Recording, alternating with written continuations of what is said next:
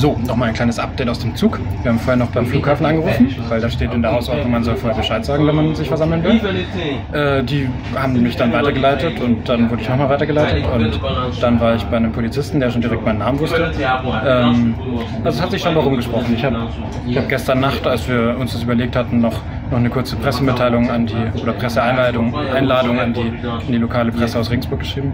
Ähm, das hat sich wohl direkt rumgesprochen zur Polizei. Naja, wie auch immer. Ähm, der Polizist war nicht so gut drauf. Der meinte irgendwie, wir wären zu spät für die An Anmeldung oder Anzeige oder so.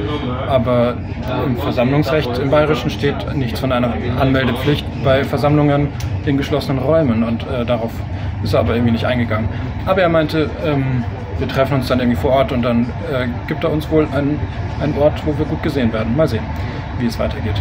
Aber bisher sind scheinbar irgendwie alle in, in großer Aufruhr, weil wir uns versammeln wollen.